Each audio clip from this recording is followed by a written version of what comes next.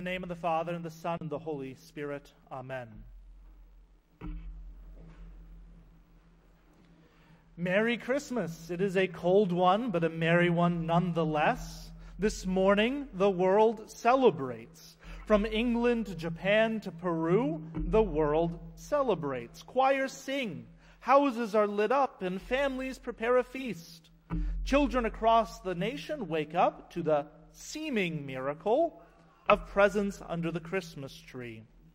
Many evangelical churches have closed their doors this Sunday in order not to impede on families' cocoa and jammy time. These things are all delightful, fine celebrations for the world, but we celebrate a miracle far greater this morning than a jolly old elf flying through the sky with reindeer to leave presents under a tree. Those things are all fine celebrations for the world. But the church has more to celebrate.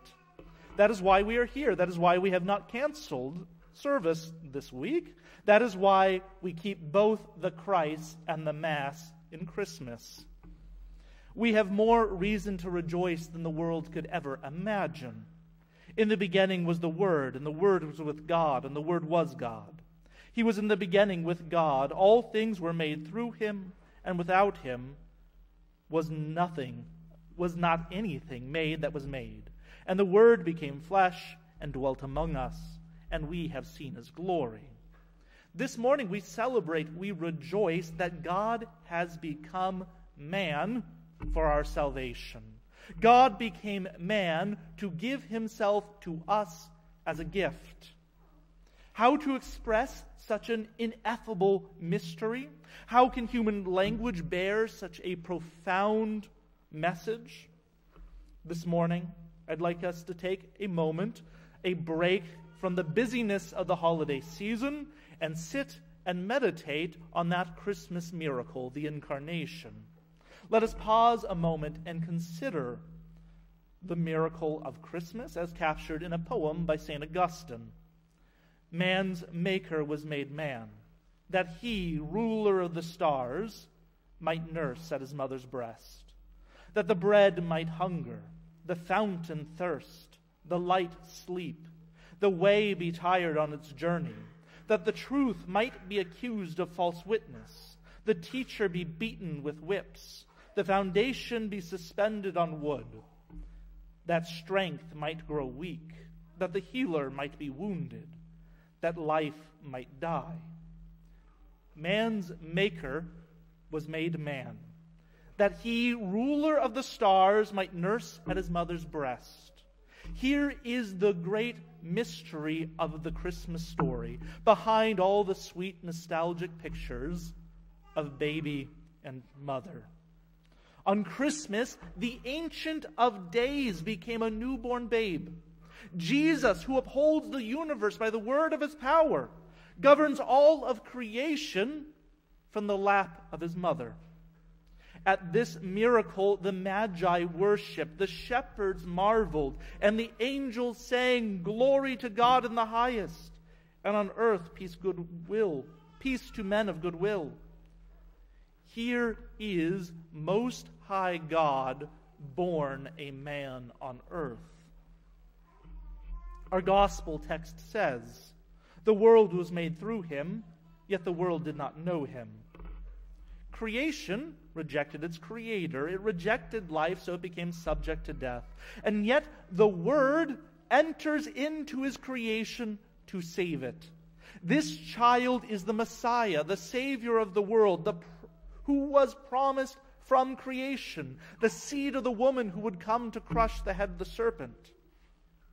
In Jesus, God became man so that the bread might hunger, the fountain thirst, the light sleep, the way be tired on its journey.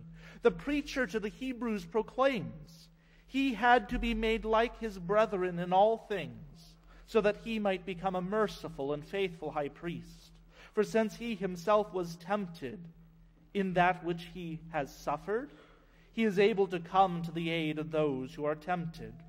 In Christ, God is not distant. He is not far off. There is no trial, suffering, or temptation that has afflicted you that has not afflicted God Himself, that God Himself has not experienced in Jesus.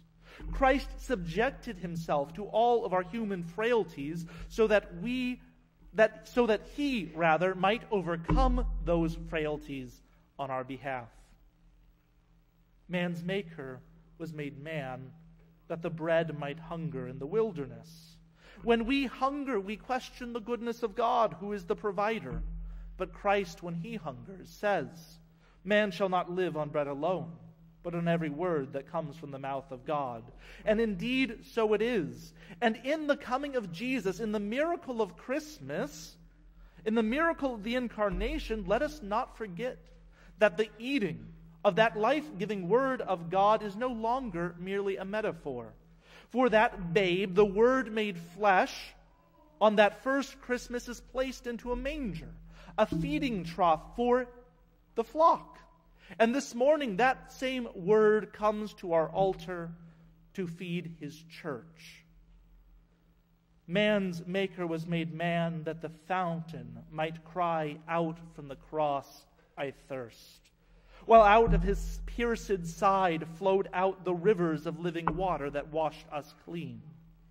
Man's maker was made man that the light may be laid down to sleep, while Herod's soldiers sought to snuff out his little life.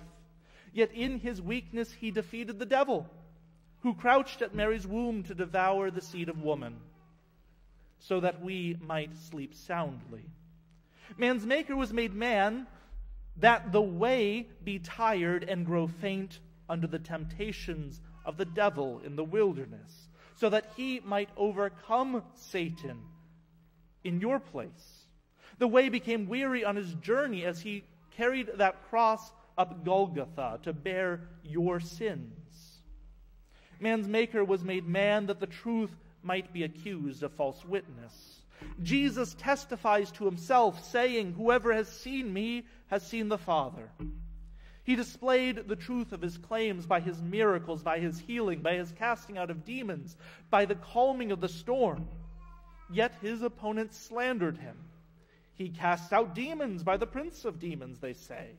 They mock him. If you are the Son of God, come down from the cross. And in so doing, they accuse God Himself of blasphemy. Man's Maker was made man that the foundation of the world might be the foundation of your salvation, suspended on wood. Here is the greatest aspect of God's miraculous incarnation. Christ came in love to make you children of the Heavenly Father.